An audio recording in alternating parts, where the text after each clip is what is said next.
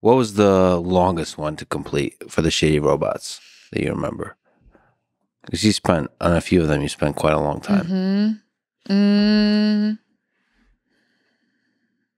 which is also inspiring when you take so long in a project. yeah. I think um kind of in the more like fun whimsical department rather than shitty robots. I built recently um this music box so like a small music box that kind of has a barrel Mhm. with little spikes and it plays a song but i did a large version of that.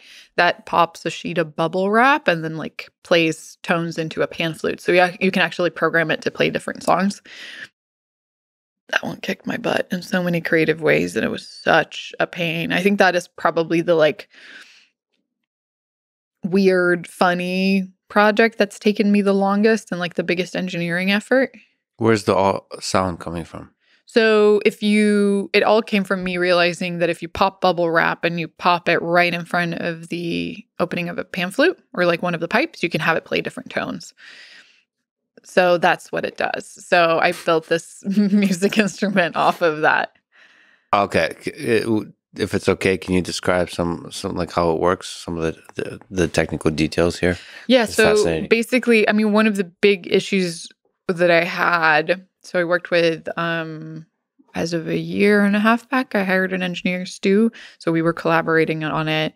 Um, but a big issue that we had was feeding in the bubble wrap sheet and like Uh-huh. making sure that it feeds in straight and doesn't get skewed because you need to make like the popping feet which is where you program this barrel to pop different bubbles Mhm. need to be so perfectly aligned on the bubble of the bubble wrap for it to pop in the right location. So there's a feeder for the bubble wrap. That's a challenge, and then you have to have a barrel with the f- little baby feet on it Mm-hmm. Yeah. that pops the bubble so wrap. that Why is it so exciting? That barrel was a pain yeah, as well. I had to get a like this rotary setup for my CNC and yeah, it was it was a lot of work.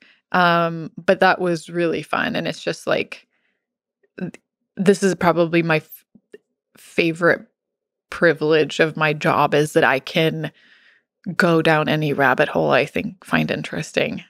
did you have a lot of joy from popping the hmm the, Yeah, that's the bubbles? It's a lot of self-soothing and like I got to spend I think I spent a week trying to figure out the best material to pop bubble wrap with because if you have two if you kind of put them two two through uh, or through if you put a sheet of bubble wrap through two rigid tubes Mhm. the air kind of just escapes from one side of the bubble into the other so Wow. what i realized was that if you have a squishy material like kind of a yoga mat material Mhm. in between it it actually it prevents that and pops it a lot more reliably so but you, like increasing the pop reliability was a huge effort as well you have to pop a squishy thing with another squishy thing. because you don't need a lot of force yeah. like you just need it to not the air to not be able to escape anywhere Wow. but then also we had there was different qualities of bubble wrap where there was a lot of transference between different bubbles so instead of the bubble popping it would just seep the air into a neighboring bubble and that like membrane would kind of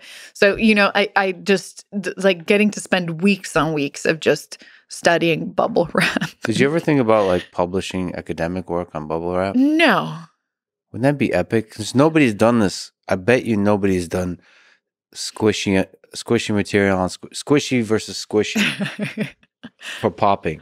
I bet somebody has. But you know, I, I always I thought I was gonna go into academia. Like I was such an ambitious student.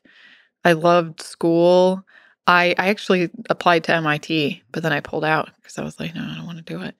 Um, but now I realize it's really good that I didn't because I'm too much of a spaz. Too much of a spaz. Now I'm. I'm distracted. I'm thinking there must be papers about when you have two bubbles.